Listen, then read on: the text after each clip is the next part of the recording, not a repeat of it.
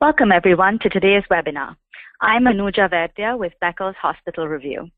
We will begin today's webinar with a presentation and we'll have time at the end of the hour for a question and answer session.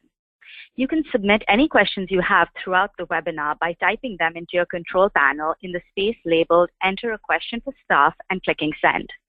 We're looking forward to hearing your questions.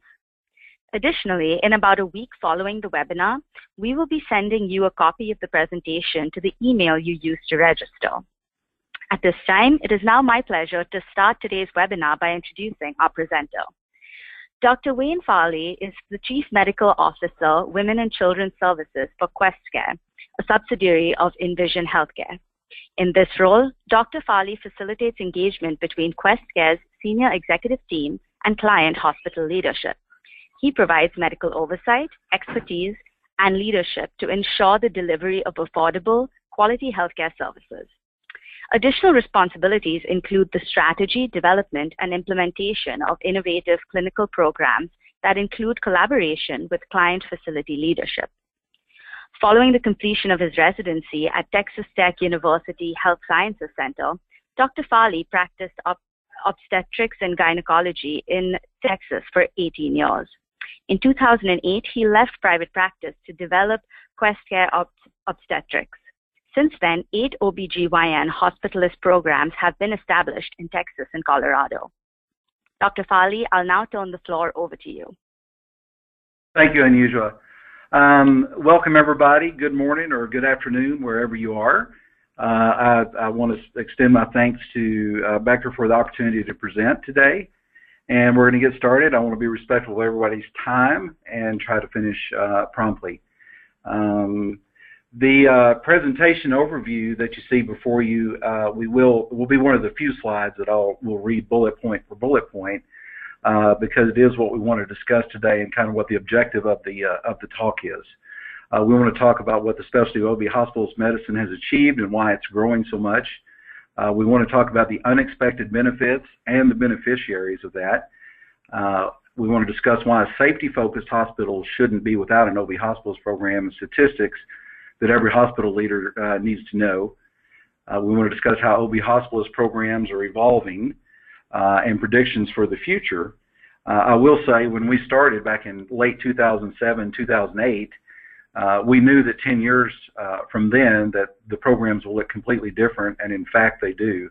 It is a quickly evolving uh, subspecialty, if you will, even though it's not recognized officially as a subspecialty of obstetrics, but it is uh, quickly growing and expanding, and, and the face of the programs are changing almost daily. And we'll touch on that as well. We're also going to discuss some of the obstacles to implementing an OB hospitalist program and key considerations for outsourcing the program.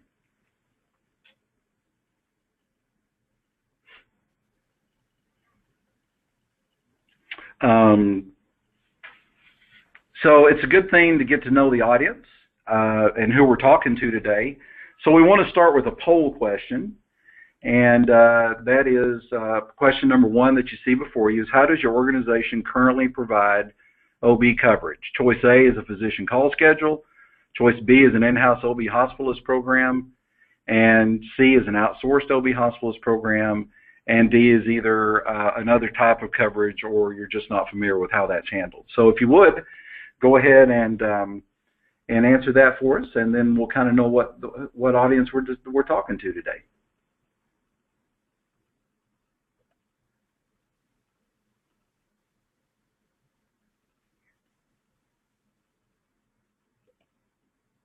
Dr. Farley, the results are live for you now.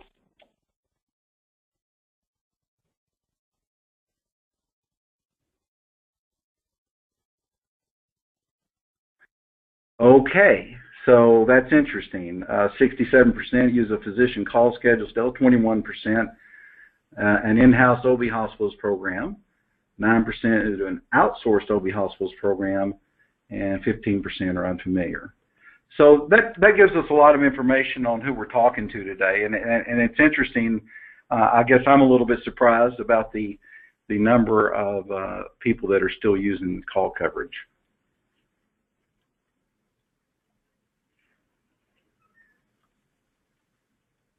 Okay, my slide is stuck.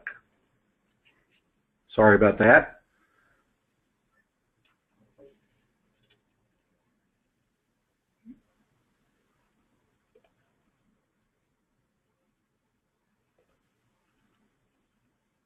Okay, we're back on track, I believe. So we consider OB hospitalist programs to still be in the infancy period. Uh, if you if you look back, um, uh, I use the term 10 to 13 years ago a lot. I use that because 10 years ago was when we kind of started uh, the OB hospitals business, and and uh, 13 years ago is when the first article um, uh, was published, and uh, that was published by uh, Dr. Weinstein with regards to um, to the laborist programs. And I apologize, I'm not I'm not getting my slides to move for some reason. Uh, it, with regards to hospitalists in general, Dr. Wachter uh, published a uh, article in 1996 regarding uh, hospitalist medicine. Uh, that was back during the time uh, among the environment of managed care and DRGs for any of you that are old enough to remember that. And that was a, an article that addressed internal medicine hospitalist programs. And, um, and then in uh, 2016, just last month, he actually published a follow-up article to that. I would encourage you to look at it. It's very interesting. It's called Zero to 50,000, which is the 20th anniversary of that article. And then Dr. Weinstein is credited for the first article in 2003 uh, with regards to uh, laborist. And uh, that's an interesting article to read. And that article was actually uh, published and, and addressed the evolution of laborists due to three primary factors, and that was quality of life, burnout, and uh, the professional liability insurance crisis that we were kind of experienced back in those days. The um, so how have we grown over the years? And uh, even though it's young and still in its infancy stages, as I mentioned before, um, the um, the growth has been quite incredible, and we expect it to continue along that uh, route as we uh, as as the programs mature.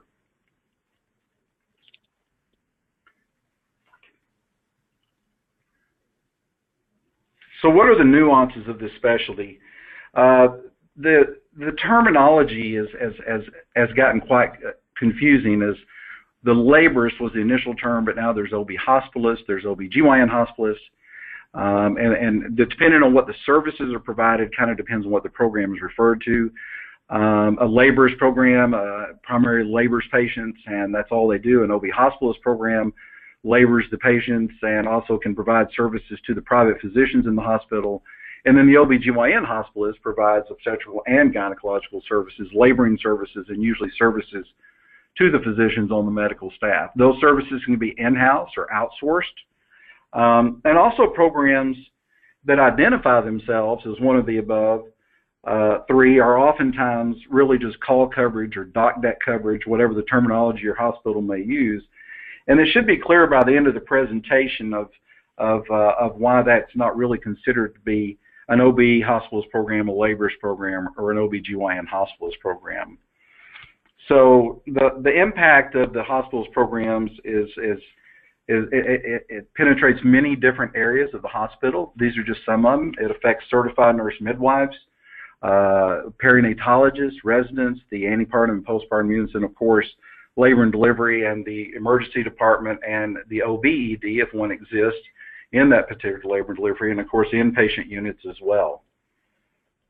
So the top 10 uh, OB hospital services, um, not in any particular order because um, the um, every program is different. Every OB, OB hospitalist, every laborist program is different. But these are the top 10 services that the program, uh, most programs provide. I won't read every one of them to you, but the top one is uh, immediate availability of emergency deliveries and C-sections or any OB/GYN emergency, um, help managing labor and delivering patients, uh, providing evaluation and disposition for uh, private physicians patients that may need a, a, quick consult or a sidewalk consult or evaluation of fetal heart rate tracing, etc. We can also provide inpatient cons consults and supervise uh, nursing and CNM res uh, residents and CNMs as well, oversight of, of certified nurse midwives. And, um, and then facilitating discharges is very important to the hospital, as we all know. And so, and then one that's uh, not listed there is uh, transport services, and that is increasing the the the uh, volume of maternal transports or the ability to provide um, maternal transport acceptance. So on the next slide, uh, we, are going to talk about the unexpected uh, deliverables, the benefits and beneficiaries of an OB hospitalist program. There's a lot of benefits that you might expect. Back in 2007 and uh, 2008, when we first started our programs, we anticipated that there were going to be that we would see certain benefits as these programs evolved, and in fact, some of those have proven to be true. Uh, the benefits for hospitals and patients, uh, improved safety and outcomes. That is very well documented now that in fact uh, OB-GYN hospitals programs do that. There's uh, articles that we've referenced in this presentation that I would encourage you to read that uh, in fact affirm that in, these programs improve patient safety and outcomes. Improve satisfaction, and that's improved satisfaction among just uh, across many different uh, people. That's nursing, administration, the physicians on the medical staff, uh, and then reduce stress. We anticipated that would uh, be the case, and in fact, it is, uh, especially for nurses, knowing that uh, OB emergencies can be addressed immediately without having to wait for contacting the private physician and the, the physician to come from home, et cetera. And then the benefits for physicians is just that satisfaction in, in, in improving patient outcomes and knowing that that 24/7 availability of an inpatient board certified OB-GYN uh, is is is going to improve the uh, the outcomes overall, and then reduce burnout, which actually applies to the OB hospitalist as well as the physicians that are practicing at the facility. Uh, the the OB hospitalists, many of them left private practice to become hospitalists because they were becoming burnout, and extends their careers by functioning as a hospitalist instead of a private practitioner. And then we hear that many private practitioners feel it's going to reduce their burnout and maybe even prolong their careers. The next slide talks about what we may not have expected or what you what we may not have expected from the programs back when we started them back in 2007. And these are some of the benefits that we've seen uh, for hospitals and patients. Reduced C-section rates is very well documented now. And we thought that would happen back in 2007, 2008 when we started the programs. That's now been confirmed. Um, increased consistency in high-risk protocols is a huge benefit that things are done consistently per evidence-based protocols on a regular and continuous basis. And all of this facilitates better teamwork as well. Uh, and of course, communication is the, is the key to better teamwork. And uh, we see that in all of our facilities that um, that that is a is an added um, benefit to it. As far as benefits for physicians, uh, it's nice having board certified OB-GYNs in the, in the facility 24/7 uh, and having that knowledge and those skills present in L&D, all the time uh, makes everyone rest more comfortably, especially during night hours when there's not so many physicians present to handle emergencies, etc. And then the decrease in malpractice cost. Again, another thing that we expected or anticipated would probably happen, uh, but we did probably didn't expect to see it this quickly. And what we're seeing is decreased malpractice uh, cost to hospitals, uh, to physicians, um, and um, uh, not just to the physicians working in the facility, but also even physicians that practice at facilities um, that now have OB-GYN hospitalist programs. So the next slide is just kind of a summary of some of the benefits that we've witnessed. Uh, it doesn't include them all, but um, it, uh, it, definitely improves patient safety as discussed earlier. Um, the hospitals that have programs have, have shown improved ability to recruit and retain new OB-GYN physicians to their medical staff. They improve quality of life for physicians. That includes both, as I mentioned earlier, the hospitalist and the OB-GYN physicians. Uh, better throughput for L&D triage or your OB-ED, whichever you have. Um, the acceptance of high-risk transfer patients to support NICU services is an added plus uh, and then the decreased cost of rehiring and retraining nurses to improve satisfaction retention. What we're seeing and what our hospitals are seeing now is new higher labor and delivery nurses preferring hospitals that have OB-GYN hospitals programs over those that don't. And the cost of rehiring and retraining nurses on a study that we did approximately five years ago at that time was a, a cost of the hospital of about thirty thousand per nurse. So it's a it's a significant number.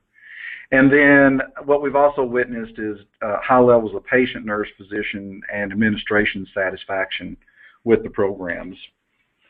So more of the unexpected benefits are those impacting the bottom line.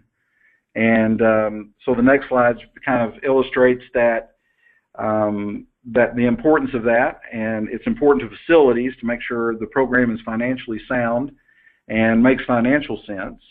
And so when the when when our programs facilitate the maintenance and growth of NICU admissions, it grows the market share. Um, when um, we do reduce risk and liability premiums, and you, you create a cost-effective program for the hospital, uh, then it has a major impact on the bottom line. The other thing that it does, as, as illustrated on the next slide, is you can expect less stress. Um, I would not say that this was one of the primary expectations 10 to 13 years ago as these programs were being created. But with physicians available 24-7 to respond quickly to emergencies, um, and the reduction in potential medical legal liability for the hospital, the nursing staff, and the OB-GYN medical staff, then you see a reduce in stress on OB physicians, the, the OB hospitalists, the medical staff, the nurses, the ED, and the hospital administration. So the next question is our second poll question. And um, if the audience could respond, just the ones that um, do not have an OB hospitalist program, which um, proved to be the majority of you, do you feel that your organization has adequate support for call coverage from the community OB-GYNs or the call schedule? I would like to come back to this question at the end of the uh, presentation, but time's not going to allow that. Uh, but uh, it would be interesting to come back and re-ask this question ever. So if you would take the time to ask that answer that question, uh, and that would just be for the ones that um, that feel that um, that that have a physician call schedule that they work from. 30% yes, 33% somewhat, so 60, oh, this changing still.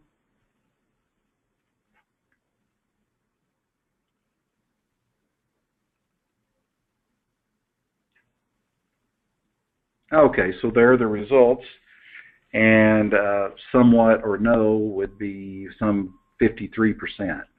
Thank you for that.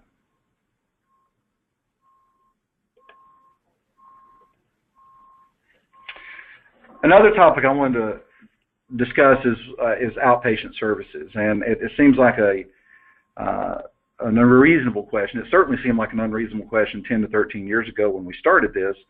But what about your OB hospitals program actually providing some outpatient services?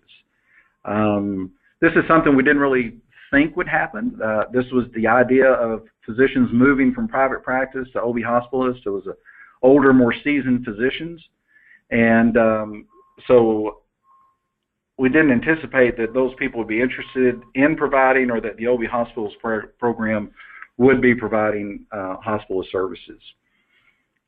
So on the next slide, we have um, uh, six safety stats, and um, that a safety-focused hospital shouldn't be without a OB hospitalist program. And these statistics everyone should know. And we have the references here. It's kind of a busy slide. Uh, but I would, uh, it's got some pretty significant data to it, and the references are below that you can uh, pull those articles up if you want to want to touch on them. But statistics that every hospital needs to know is that 77% of obstetricians have had at least one liability claim. Uh, in reviewing, 40% of those claims uh, actually could have been prevented, and 40% of MPIC and QAS hospitals utilize OB hospitalist. Um, the, the research has shown that an OB hospitalist program has a reduction in likelihood of C-sections by 15%. And then a study out of Yale showed that you can see up to a 95% uh, reduction in direct liability premiums. Uh, and that paper actually was um, evolved around the, the hospital establishing a comprehensive obstetric safety program uh, which consisted of measures to standardize care, improve teamwork and communication, and optimize oversight, optimize oversight and quality review. It's a very interesting article. I would encourage you to look at it because that's a very significant reduction in, mal, in uh, direct liability payments. And then uh, all the programs have shown increased volume of deliveries uh, with OB hospitalist. So we feel like the the OB hospitalists have a bright future. Um, and so I want to I want to talk about how OB hospitalist programs are evolving and a few predictions that we have for the future. So the, the primary question is: Is this becoming the standard of care? Um, in, in our opinion, it is. Uh, I think if you read the uh, original article back in 2003, um, that there was an inclination of that. There was a very good article in 2013 by Dr. Srinivasan that addressed that and said that in fact the trend, uh, based on the data that they collected, showing uh, the statistics the statistics that I've already discussed, the uh, decreased C-section rate, the improved outcomes, improved patient safety, et cetera. So they're continuing research on that as to why is that with OB hospitalist programs. So we do believe that the standard of care for the future will be OB hospitalist programs. We also think and, and are making another prediction, um, um, as indicated on the next slide, that obstetrics and gynecology care is going to evolve into three OB-GYN specialties. Uh, again, this is a prediction. Uh, many of our predictions have come true since 2007, 2008 when we started.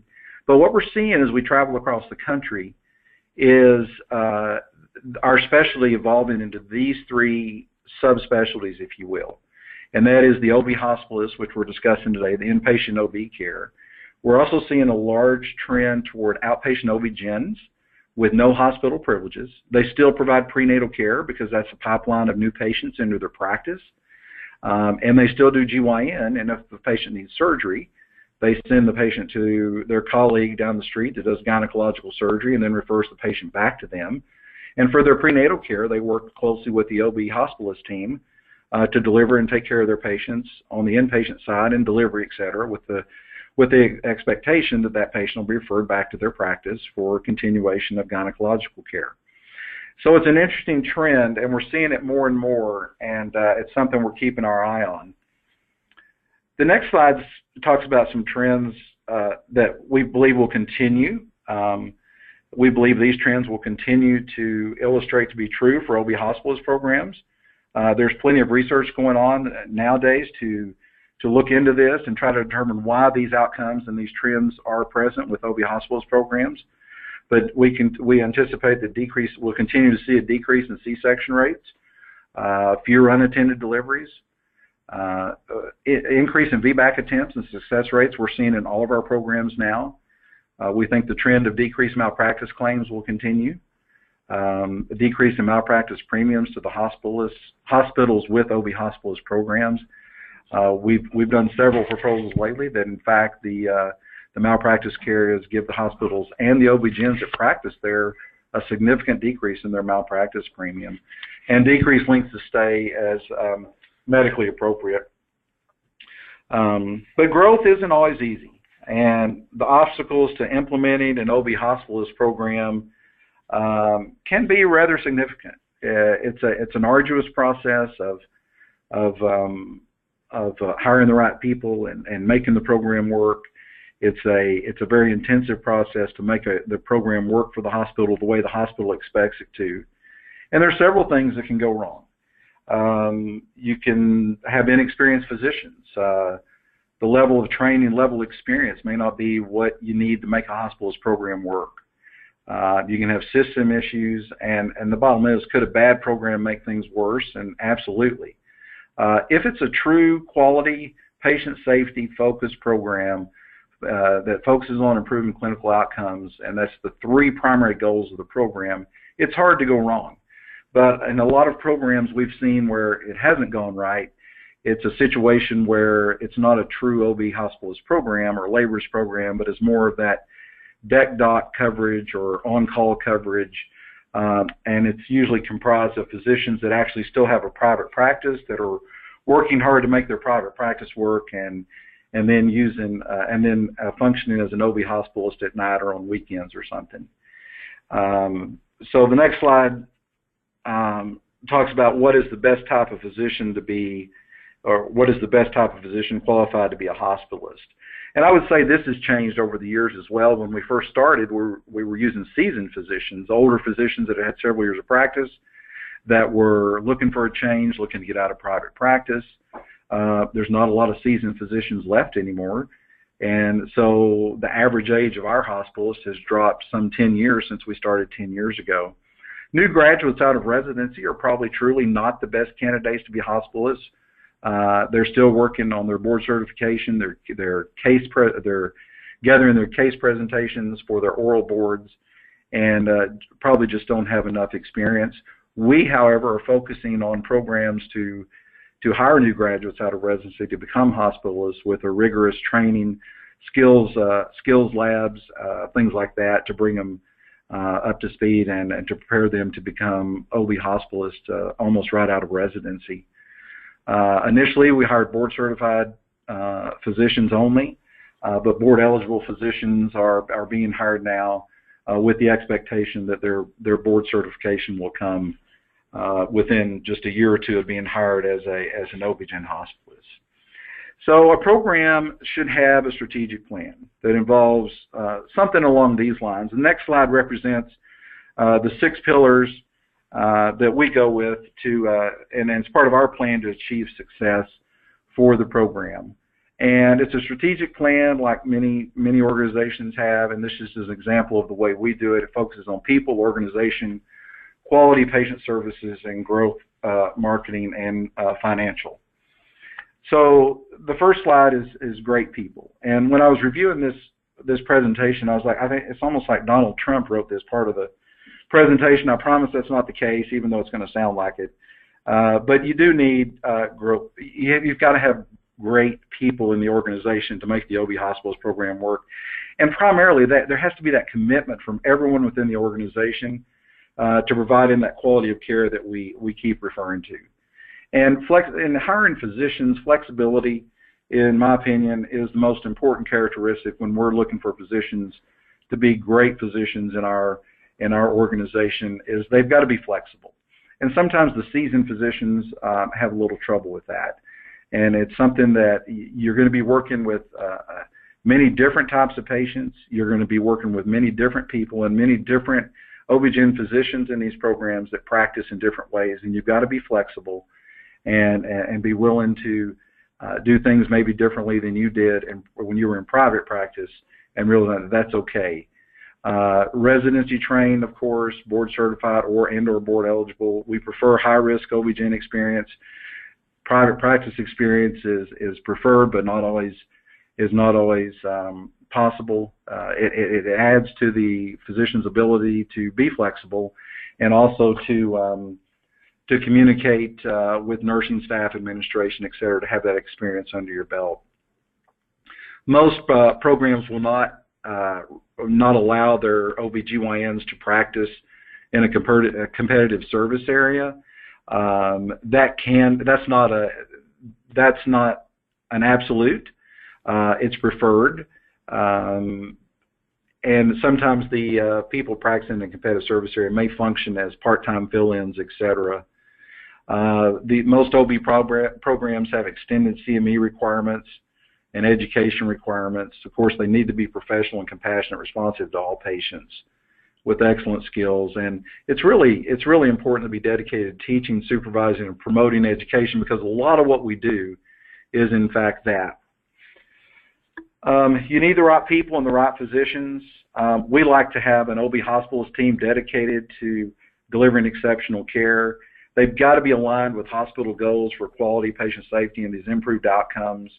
And um, the, the, physicians really need to be engaged. Uh, they, they need to be engaged with what the goals of the program are because every hospital's goals when contracting with an OB-GYN hospital program and outsourcing those services is different. And, and and the the vendor has to be really cognizant of what those goals are, and they're they're constantly changing. And the hospitalist program has to be willing to change as the hospital's goals change, and therefore the people that are working for the OB hospitals program also have to be committed uh, to making those changes as well.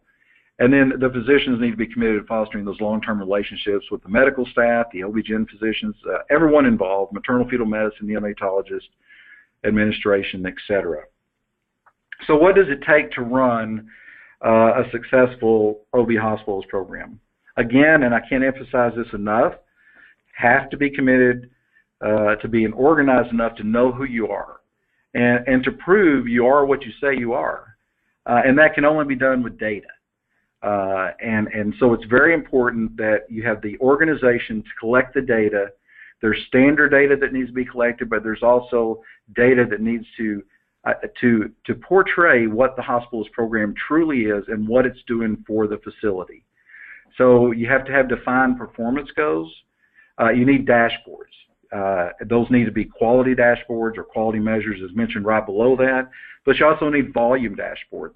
And your dashboards need to be flexible. They need to represent what the hospital uh, needs to wants to accomplish. It needs to be flexible. It needs to be able to adjust to what any factors the hospital may uh, identify as weaknesses that are or things that they want to focus on. And so you've got you've got to have the ability to gather the data and show the hospital what they're wanting to see, and then showing the hospital who you really are and that you you are who you say you are.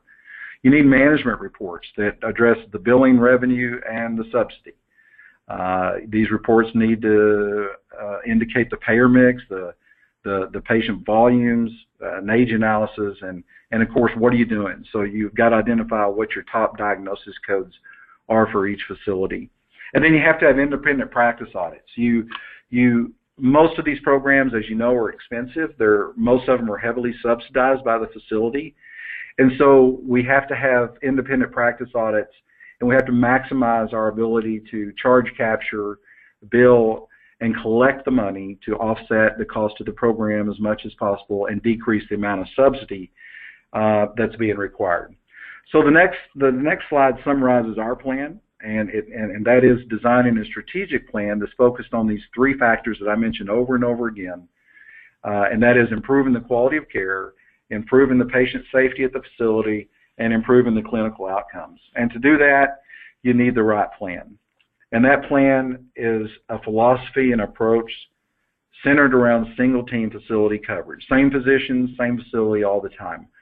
Um, oftentimes that's not possible, but ideally you want to hire the same, you, you want to hire a team that is specifically designated to provide OB hospitalist services at that facility so that those relationships referred to earlier can develop and those communication issues become easy and uh, that can only be accomplished with a program that that provides you the same physicians on a rotating basis. Uh, like I said, it's not always possible, but when it is possible, that's the way we like to approach it. Um, you've got to have a plan that provides cost-effective OB hospitalist care. I've already addressed that. It's expensive. It requires a subsidy, so it needs to be a cost-effective program, and you need a seamless and efficient implementation plan. So the next slide demonstrates uh, the models of OB hospitalist programs. The most common, of course, is a 24-7 uh, coverage model. It's a 12-hour shift model, 7A to 7P, 7P to 7A. That's just how ours is structured. There's many ways to structure it. Uh, we do allow back-to-back 12-hour shifts, uh, us a 24-hour shift, if you will, in, at certain locations that are lower volume and lower acuity. Uh, a 24/7 model requires four to five FTEs. Um, it requires the hospitalists working uh, 7A to 7P to provide the and do the daily rounds and discharges. Then there's also hybrid models. I won't spend a lot of time on it, but a hybrid model for OB hospitalist program is made up of full-time OB hospitalists that are employed by the outsourcing agent, and then some part-time help that is uh, could be staff or faculty OB-GYN physicians at the facility. And it could be Monday. It could be a program that only provides coverage Monday through Friday, 7A to 7P in-house, or Monday through Friday call coverage. It could be a nocturnist program. It could be a weekend on-call coverage. It doesn't really define itself as an OB hospitalist program or a laborist program, but oftentimes it's a model that can be implemented at a facility that may not have the volume of patients that it needs or financially just can't afford a full 24-7 model in anticipation and hopes of growing their program to the point where it can become a 24/7 model. We've successfully done that with a couple of programs now, and it's definitely something that a smaller hospital, smaller volume hospital may want to consider. Each program has an, uh, a designated full-time um, medical director. That person is one of the OB hospitalists at the facility, so they're working clinically as well as administratively, oversee the program, responsible for scheduling it, and they have protected administrative time, and they have regular meetings with the administration of the hospital to discuss the program, and then also a regional medical director that provides oversight for four to five of the programs. Um, the next thing it requires, is the, as the next slide, is great quality. I, I told you it sounded like Donald Trump. It's great people, it's great quality, it's, but it is true. All these slides are true, um, and it, the quality is has to be demonstrated. It has to be data. It has to be demonstrated and going to be demonstrated through data collection, as I mentioned before. So there has to be a routine and regular assessment of medical risk and management issues. The program needs to have evidence-based policies and procedures and protocols in place so that if I have an OB hospitalist program uh, on the north side of town and the south side of town and the east part of the country or the west part of the country, all that care is being delivered in the same evidence-based way.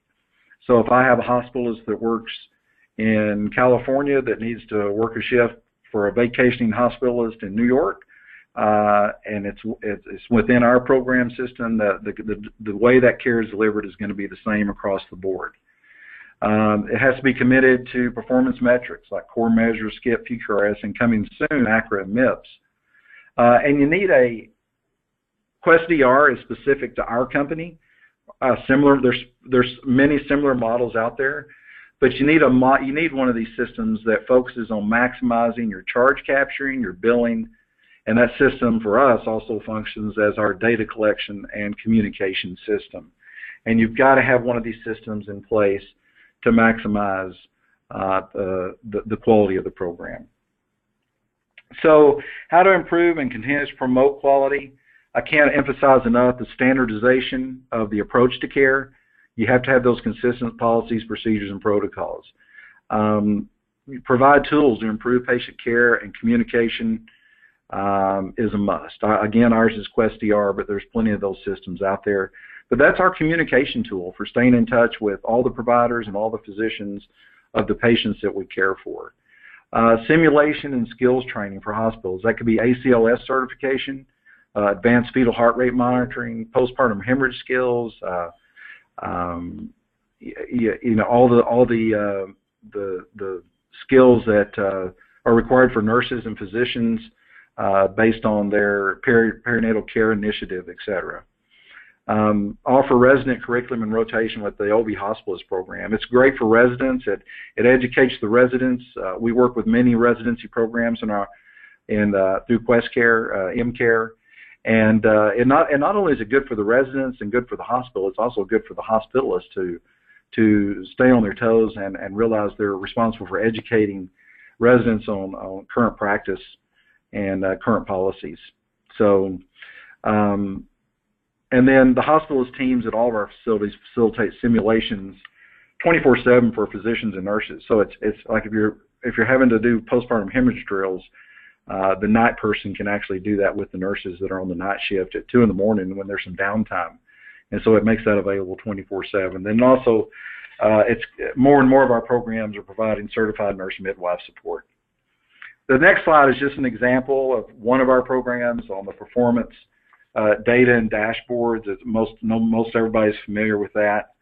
Uh, but th- again, this is something that is designed for each facility. There's there's set data points that you want to want to approach PQRS, uh, uh, SCIP, you know, SCIP measurements, um, uh, core measures, uh, uh, et. And but then you also want to have a system in place that can specifically uh, track specific quality measures that the hospital may be interested in. Uh, the next slide just talks about great services. Um, uh, the OB Hospitalist program has to provide improved patient services, uh, and, and they do that by providing improved quality of care, 24-7 availability uh, in labor and delivery, uh, the convenience of having the physicians, the improved safety that comes with that coverage, uh, all programs should have the uh, potential for better outcomes. Even in programs that we've started where the hospitals have excellent outcomes, we've still improved uh, the overall uh, quality of care and improved outcomes. Um, communication is the key to making that work, and again, the uh, continuous education and training. So, from a marketing standpoint, the program in itself, a good quality program, will market the, the, the hospital's OB-GYN hospitalist program. If I'm sorry, sorry about that. Um, so, if you have a OB hospitalist program that is in fact focused on and improving patient safety, is focused on delivering and improving the quality of care, and is focused on um,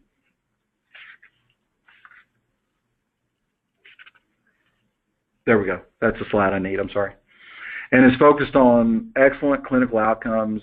That in itself is going to be a marketing tool, and and with that marketing tool, the facility is going to see growth in uh, in in the women's services the public is becoming very much aware of OB hospitalist programs.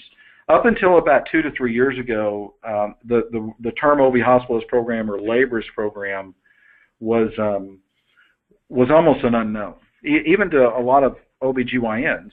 Uh, what we're seeing now is that uh, even the public is becoming aware of hospitals that have OB hospitalist programs. And so uh, offering a quality program is a great marketing tool within itself.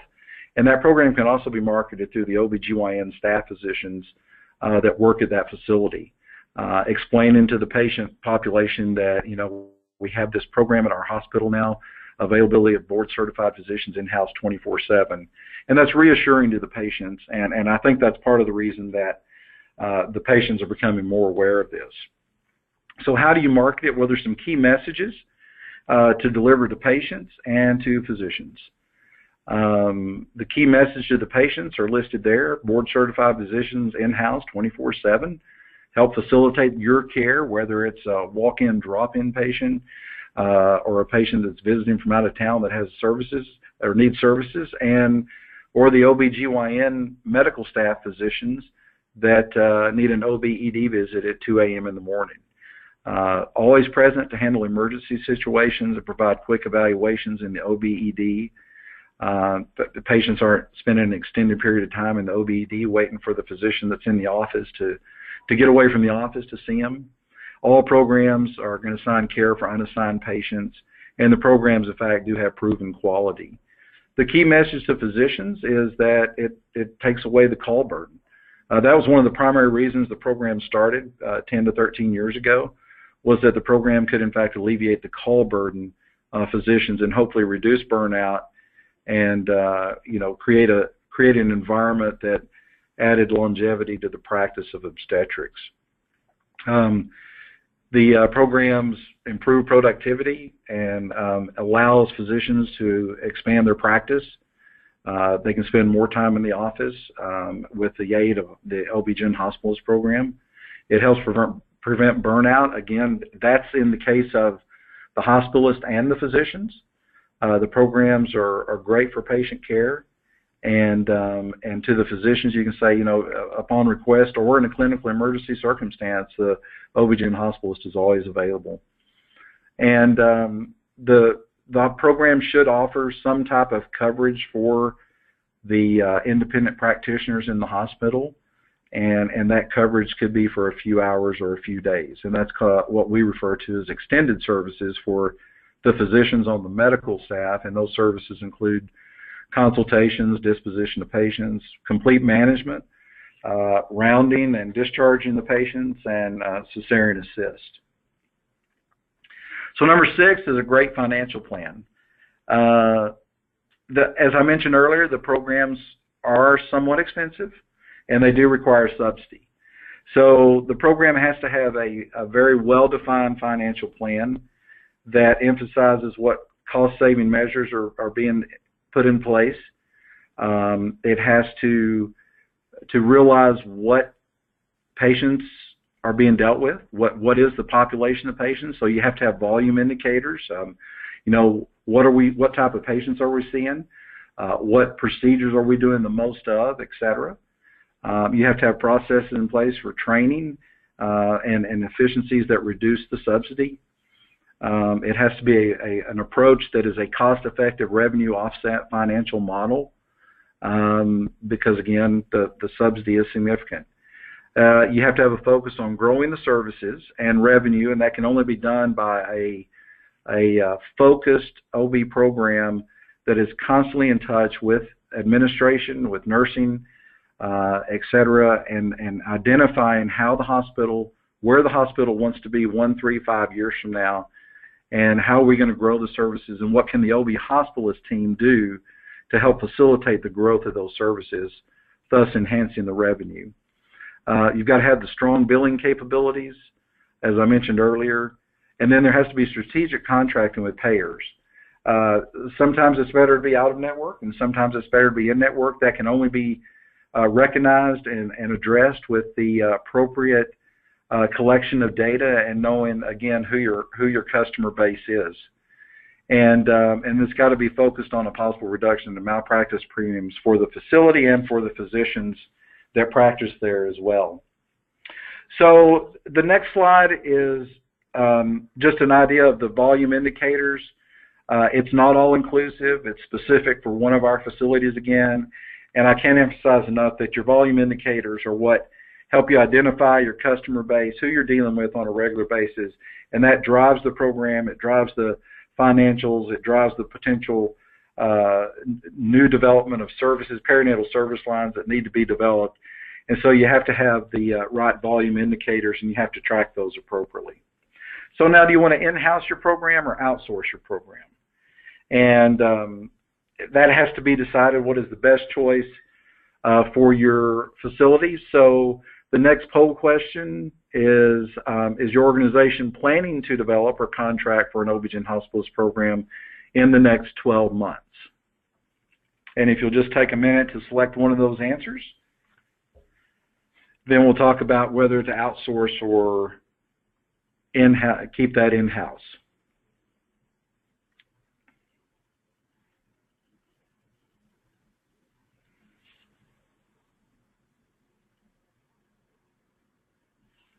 Okay, so almost 40% are considering that.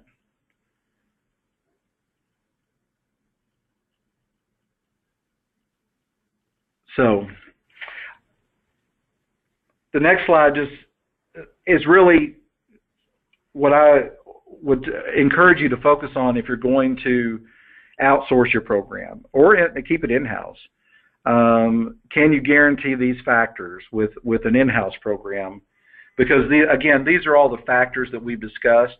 Again, I'm, I'm not going to go through these one by one, but um, these are all the things that we've mentioned, and I think these are the things that you should uh, keep this list available when you're looking at whether you're going to keep your services in-house or out-house, and these uh, outsource these, and these are the questions you need to be asking. Uh, the next slide demonstrates some more uh, of those um, things that you need to focus on. Again, all these have been addressed prior to now, um, and so I won't list. I won't go those one by one. Uh, so my question would be, what are the advantages of outsourcing? Because there is growing evidence in the literature supporting outsourcing, especially for the reduction in the hospital malpractice and liability premiums. So I would just encourage you to look for programs with a reputation for the following. Uh, and those are represented on the next slide. Um, you want to find a program that has a history, a, a, positive history of increasing volumes of revenue year after year. Uh, outpatient facilities, if that's something you're considering, or if you think that might be something that the uh, the hospitalist program would help you with. Uh, programs that are focused on improving or increasing, I should say, maternal transports and NICU admissions, and just an overall focus on expanding peri perinatal service lines for your hospital. Uh, you also want to look for programs that have a plan for um, addressing and definitively answering all past and present questions regarding physicians and programs. Um, the next slide um, shows that you know you need a program that's cognizant and committed to the focus of quality, patient safety, and, and clinical outcomes. I'm sorry, that next slide's not coming up. There it is. Go to the previous slide, please. Thank you. Uh, your program um, has, needs to have a clearly defined plan for developing the awareness and a focus in the new practice uh, and the established standards for, for both the OB hospitalist and, and the OB program. Okay, now we can do that next slide. And look for a company that shows results. This is just one of our divisions, um, and uh, some of these are volume data uh, that we collected, 185 unattended deliveries avoided, 35 obstetrical saves, uh, in one program, just one program, nearly 400 maternal transports. Uh, we've expanded our outpatient clinical services on request of the facility and 100% compliance with quality initiatives and knock on wood, no malpractice claims. Obstetrical save is a vague term. It's a term we use for uh, emergency delivery performed, uh, either an operative vaginal delivery or cesarean delivery that's performed in an emergent situation where no other OB-GYN is on campus to provide that same service. So it's a really, real specifically devi- defined um, definition. It may not be consistent among pro, uh, consistent among other vendors, but within our organization, that's how we define obstetrical safe. So the next slide just kind of summarizes what outsourcing adds, and this is something that I would just encourage you if you're considering keeping it in-house or outsourcing uh, that I would just make the next three slides kind of a dartboard, if you will. And when you're sitting around with your committee talking about how you're going to develop your OB-GYN hospitalist program, then just take a dart and throw it, and wherever it lands, just have that discussion. Because your OB hospitalist program should provide all three of those, uh, all the components on all three of those slides. The next slide just kind of uh, represents our data collection uh, charge capturing retrieval system and, and that, that we use to maximize our data collection. Again, there's a lot of these systems available out there. We use QuestDR, uh, which is powered through MediMobile out of Austin, Texas. Uh, it just enhances our ability to capture charges real time as we're rounding on patients. Uh, we're submitting charges directly to the billing company. Uh, it has shown to increase revenue uh, within our programs by some uh, 14 to 18 percent. Uh, and this is something, if you're out there in your private practice, you can also utilize something like this for your private practice too to maximize your charge capturing. And again, we use it as a, a communication tool with all, all physicians. So we achieve this by, as the next slide indicates, uh, creating the culture. Um, we think we do a good job of that. Um, you have to have the appropriate behavior and attitudes and approaches to care. It requires education. You've got to hire the right physicians we try to really identify those physicians with leadership qualities and, and leadership potential. And again, I mentioned this over and over again, but a consistent, a consistent and standardized approach to everything. Uh, we also have thorough recruiting, interviewing, hiring, and onboarding processes. Uh, we want to identify the strengths and weaknesses of all physicians so we can uh, channel them into leadership programs that focus on making them better leaders, medical directors, regional medical directors, et cetera, and then also utilizing those physician streaks to benefit others within the organization and alleviate weaknesses. There's got to be continuous training and education for all on an ongoing basis, and um, we we we have uh, specific requirements which I won't go into now uh, that do that. We achieve this through the, again the three things I mentioned over and over: patient safety, improved quality, and focused on uh, improved clinical outcomes. Uh, we do this by improving physicians' clinical performance. Uh, we try to optimize our care through collaboration that's directly face-to-face conversations as well as through our uh, QuestDR that I, that I alluded to earlier. Uh, we have an educational peer review process uh, and strategies to minimize risk, and of course the financial awareness of healthcare overall and OB hospitalist program specifically. So our strategic plan for sustainable success is focused on education processes, leadership training, what are the best clinical practice, standardizing care, and then something we developed internally, which is SSAT, Simulation Skills and Thrills, which is a hands-on training education process required for all physicians to go through. Um, and it's an extensive collaborative effort uh, and is uh, will begin in November of 2017. This is also will be required for all new hires um, and then ongoing every two years thereafter. But the real key, just like it is to everything, as the next slide illustrates, is communication. Um, to, you've got to assess the program's strengths and weaknesses and assure future success. Uh, and to do that, the OB Hospitalist program must place a priority on communication. And that requires regular meetings with administration, hospital-driven outreach initiatives. Um, you have to have a dialogue for expanding the perinatal service line specific to the facility. There's got to be continuous relationship building with maternal fetal medicines, OBs, nursing staff, administration, uh, and there has to be staff involvement. And uh, there, ha- there has to have you have to have continuous process improvement uh, discussions. So, I think that concludes my presentation. I hope I didn't bore you too much. Um, and at this time, I would open up for any questions with a little bit of time we have remaining. And I would encourage you uh, that if you have any questions after this uh, after the webinar, feel free to contact me through EmCare, uh, QuestCare, um, or you can directly email me with any questions you may have. And I thank you for your attention.